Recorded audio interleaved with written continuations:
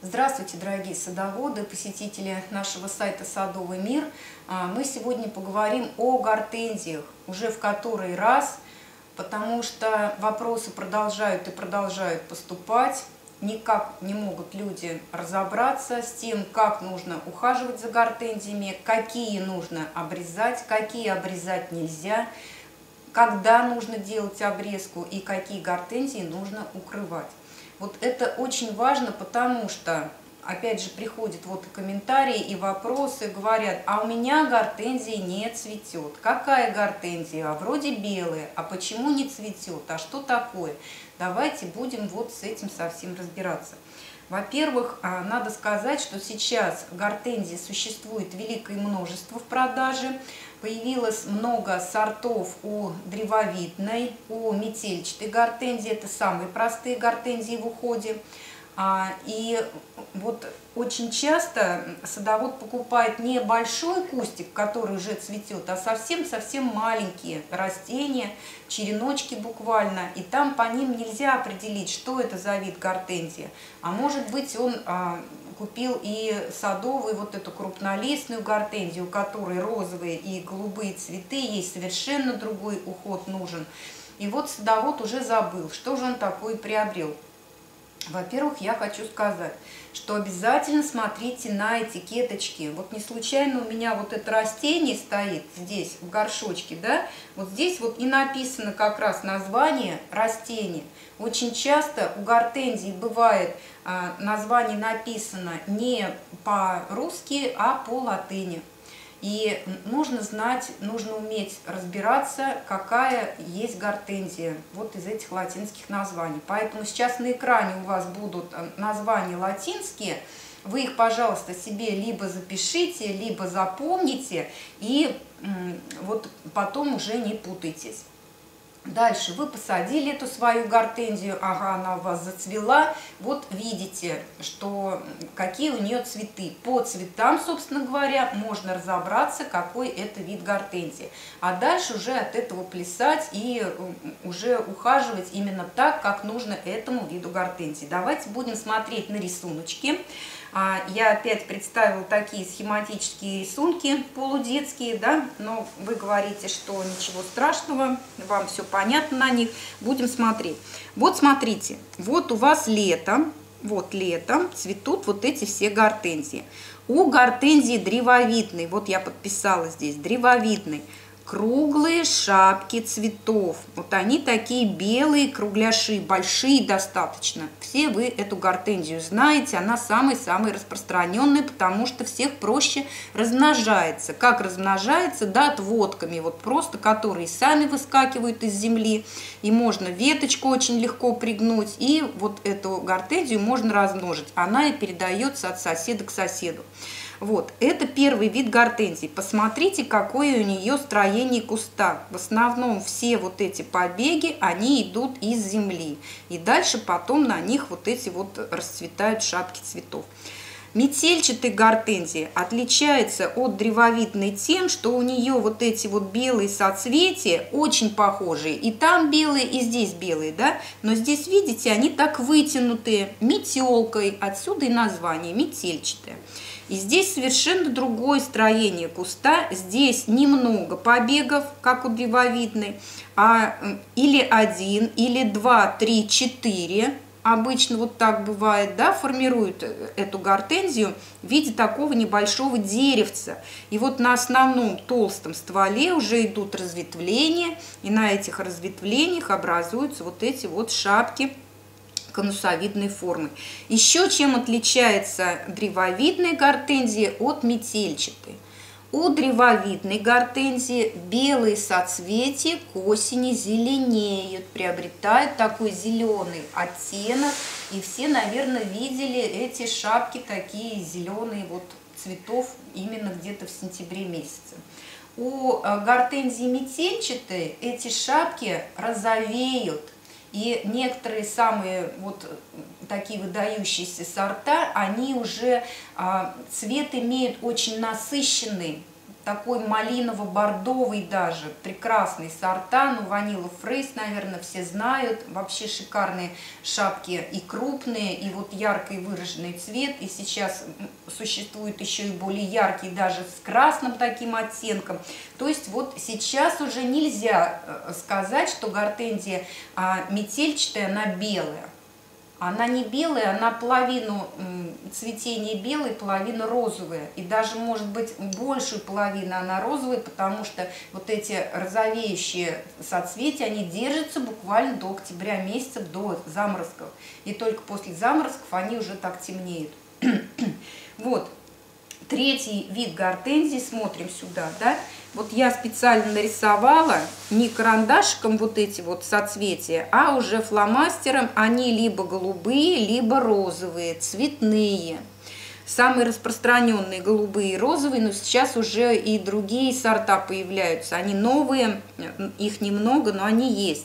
Но вот голубые и розовые это самые распространенные. Название крупнолистная. Часто путают и говорят крупноцветковая. Это неправильно именно от формы листа. Я специально нарисовала тут листья.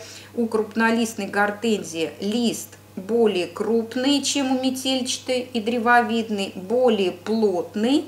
И вот по листьям можно определить этот вид, даже если нет цветов. Вот.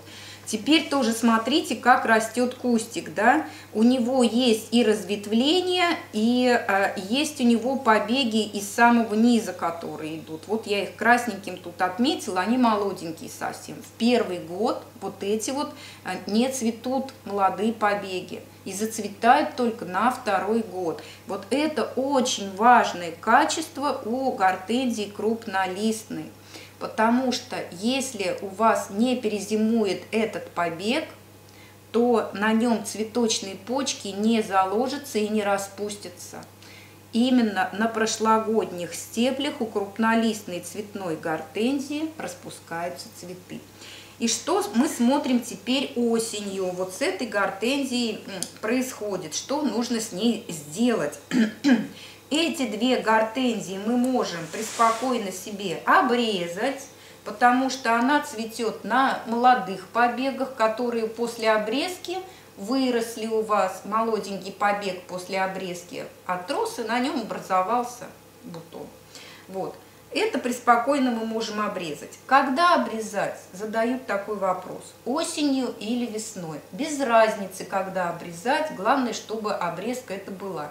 Для чего она нужна? А для того, чтобы вот эти побеги были более мощные, более крепкие, и на них образовывались более крупные шапки цветов. Вот.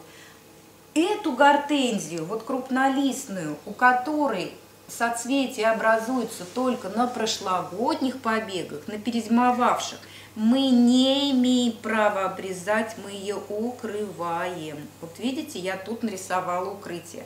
У этих гортензий, у белоцветковых, будем так говорить, да, мы не применяем никаких укрытий, а эту гортензию крупнолистную мы обязаны укрыть, иначе у нее никаких цветов не будет. Теперь на следующий год что мы имеем? Вот а, весной у нас после обрезки, да, что пошло? Вот у нас набухли почечки. Вот и здесь набухли почечки. И мы уже видим, что эти гортензии древовидные метельчатые у нас хорошо перезимовали, все благополучно. Крупнолистные к этому времени у нас еще стоит под укрытием. Основное укрытие мы можем с нее снять, но спанбонд мы на ней оставляем до тех пор, пока не минуют основные заморозки в мае потому что, опять же, вот эти цветочные почки, которые на концах побегов находятся, вот я тут их так нарисую, вот так, на концах побегов находятся цветочные почки, они могут подмерзнуть даже весной, если вы рано снимете укрытие. Поэтому не торопимся ее открывать. Тепло настало, мы в сад приехали, гортензию свою проветрили, посмотрели на нее, что веточки живые – и снова ее укрыли до тех пор, пока вот эти заморозки сильные все не пройдут. Дальше что мы смотрим? Как у нас летом цветет эта гортензия. Вот мы ее обрезали, древовидную, да, смотрите, вот где была обрезочка. Вот она, вот эти пенечки остались. Дальше мы что? Видим, что пошли боковые побеги летом. И на этих боковых побегах у нас образовались соцветия. Здесь мы тоже после обрезки, вот мы ее обрезали и видим, что пошли боковые побеги. И на этих боковых побегах образовались цветки. Еще что я на что хочу обратить внимание. Видите, мы не везде оставили по два побега, тут схематично я нарисовала, да? Мы проредили, где-то мы оставили по одному побегу, специально, чтобы вот эти шапки были крупнее. И здесь тоже так же, и здесь тоже так же. Где-то мы оставили по одному побегу, хотя почки у нас было две проснувшихся. Теперь смотрите, что с этой гортензией крупнолистной. Помните, она у нас была под укрытием, да? И все вот эти вот побеги, где я нарисовала почки на самых концах, они расцвели. Плюс ко всему расцвели те молоденькие побеги, которые в прошлом году у нас были однолетними. То есть они перезимовали, и на перезимовавших побегах тоже у нас образовались цветы. В этом году у нас вырастут новые молоденькие побеги, и они будут а, к концу, например, августа достаточно сильными, но никаких цветочков вы на них не увидите. Это вот что касается вот такой вот разницы. То есть еще раз подчеркиваю, эти две гортензии мы не укрываем древовидную и метельчатую с белыми цветами. Это укрываем рано, в сентябре, до заморозков. Да, то есть конец сентября мы должны укрыть, потому что в октябре у нас могут быть сильные заморозки. И не торопимся открывать весной. Цветную гортензию вот так мы лелеем. Дальше. Еще смотрите, какие тонкости могут быть с обрезкой. А вот говорят, что а, даже белоцветковые, вот это вот а, древовидные гортензии иногда не цветет. А что же это такое? Вот почему же это так? Смотрим, как можно делать обрезку. Вот посмотрите, а, здесь у нас было, например, раз, два, три, четыре, пять, шесть побегов, да? Вот она первый год у нас, скажем, цвела, да? Мы провели ей обрезку осенью, она выпустила дополнительные побеги, и на них цветет. Опять где-то мы оставили по два побега, где-то по одному. Здесь у нас 6 было соцветий. Раз, два, три, четыре, пять, шесть. Здесь у нас получилось 10, да? 10 побегов. Но иногда говорят, а я свою гортензию э, обрезаю очень низко. А мне так соседка сказала, что ее очень низко надо обрезать. Обрезали низко. И что получилось? Вы у некоторых побегов так отхряпали, что у них почек не осталось на этих побегах. Вот и неоткуда идти этому боковому побегу. Вот посмотрите близенько сюда, да? Вот смотрите, насколько здесь была уровень обрезки, вот, да? И насколько здесь ниже срезали.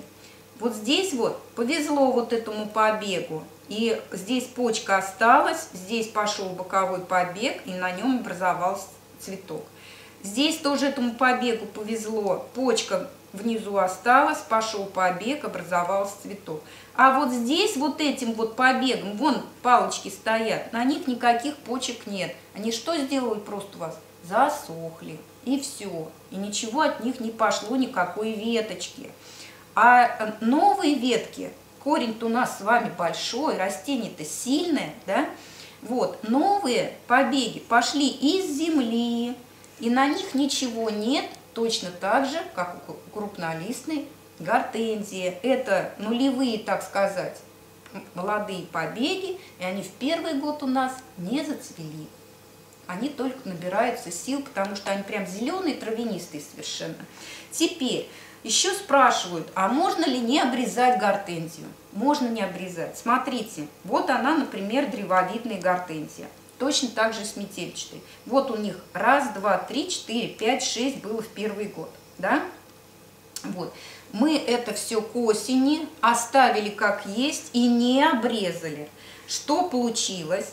У нас пошло на следующий год из каждой почки пошли побеги. И вместо того, чтобы как раньше мы обрезали, было всего, скажем, два сильных, да, у нас пошло раз, два, три, четыре на каждом. Раз, два, три, четыре. Вот здесь вот три, вот здесь три, вот здесь тоже четыре. Сколько в результате у нас образовалось цветков?